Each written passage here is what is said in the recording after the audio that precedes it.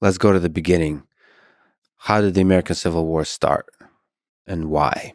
So the American Civil War starts because of our flawed institutions. The founders uh, had mixed views of slavery, but they wanted a system that would eventually work its way toward uh, opening for more people of more kinds. Uh, not necessarily equality, but they wanted a more open democratic system. But our institutions were designed in ways that gave disproportionate power to slave holders in particular states in the Union through the Senate, through the Electoral College, through many of the institutions we talk about in our politics today. Therefore, that part of the country was, in the words of Abraham Lincoln, holding the rest of the country hostage. For a poor white man like Abraham Lincoln, born in Kentucky, who makes his way in Illinois, slavery was an evil not just for moral reasons, it was an evil because it de- denied him democratic opportunity. Why would anyone hire poor Abe to do something if they could get a slave to do it for free? An economy of, of opportunity for him had to be an economy that was open and that did not have slavery, particularly in the new states that were coming into the Union.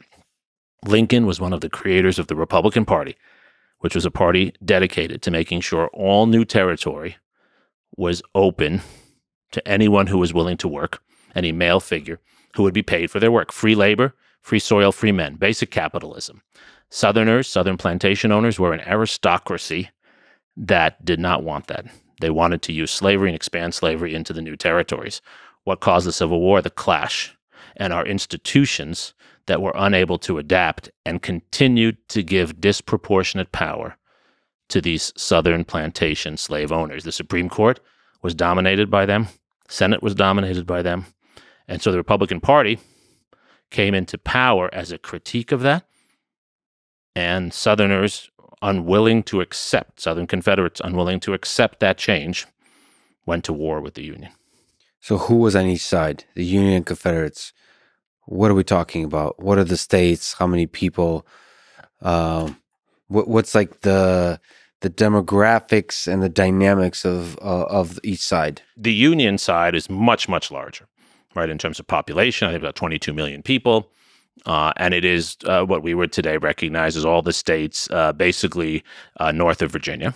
The South is the states in the s- south of the Mason Dixon line. So Virginia and there on south, west through Tennessee. So Texas, for example, is in the Confederacy. Tennessee's in the Confederacy, uh, but other states like Missouri are border border states. And um, the the Confederacy is a much smaller entity. Uh, it's made up of about nine million people plus about four million slaves, and uh, it is a agricultural economy, whereas the northern economy is a more industrializing economy. Interestingly enough, the Confederate states are in some ways more international than the northern states because they are exporters of cotton, exporters of tobacco. So uh, they actually have very strong international economic ties, very strong ties to Great Britain. Uh, the United States was the largest source of cotton to the world before the Civil War. Egypt replaces that a little bit during the Civil War. Uh, but all the mm, English textiles were uh, American cotton from the South. And so uh, it is the southern half of what we would call the eastern part of the United States today, with far fewer people. It's made up, the Confederacy is, of landed families. Wealth in the Confederacy was land and slaves. The northern United States is made up predominantly of small business owners and then larger financial interests, such as the banks in New York.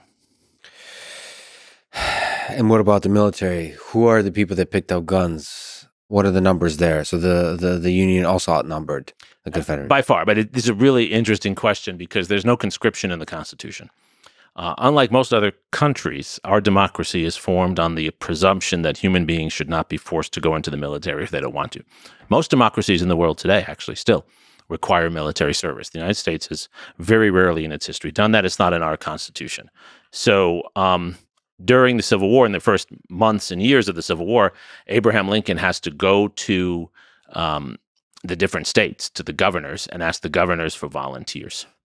So the men who take up arms, especially in the first months of the war, are volunteers in the North. In the South, they're actually conscripted. And then as the war goes on, the Union will uh, pass the Conscription Acts of 1862 and 1863, which for the first time, and this is really important because it creates new presidential powers. For the first time, Lincoln will have presidential power to force men into the army, which is what leads to all kinds of draft riots in New York uh, and elsewhere. But suffice it to say, the Union Army throughout the war is often three times the size of the Confederate Army. What's the relationship between this uh, no conscription and people standing up to fight for ideas and the Second Amendment? A well regulated militia being necessary to the security of a free state, the right of the people to keep and bear arms shall not be infringed. We're in Texas. Yeah, yes. So, what's the role of that uh, in, in this story? The American population is already armed before the war. And so, even though the Union and the Confederate armies will manufacture and purchase arms, it is already an armed population. So, uh, the American presumption going into the war is that citizens will not be for- forced to serve, but they will serve in militias to protect their own property. And so, the Second Amendment, the key part of the Second Amendment for me as a historian is the well regulated militia part. The presumption that citizens, as part of their civic duty, do not have a duty to join a national army, Prussian style but are supposed to be involved in defending their communities. Uh, and that's that's the reality. It's also a bit of a myth. Um, and so Americans have have throughout their history been gun owners, not AK-47 owners, but gun owners. And gun ownership has been for the purpose of community self-defense. The question coming out of that is, what does that mean in terms of do you have access to everything? Uh, Antonin Scalia, even himself, asked this question on the Supreme Court. You know, he said, uh, in one of the gun gun cases, uh, you have the right to defend yourself, but you don't have the right to own an Uzi. yeah, you don't have the right to have a tank. I don't think they'd let you park a tank, Lex, in your parking spot, right? Actually, I looked into this. I think I think there's a gray area around tanks. Actually, I I think you're legit allowed to own a tank. Oh, you really? I think there's well, somebody look into this because somebody told me, but I could see like that because it's very difficult for that to get out of hand. right, right. okay, there may be one guy in a tank that you could be breaking laws in terms of the width of the vehicle that you're using to operate.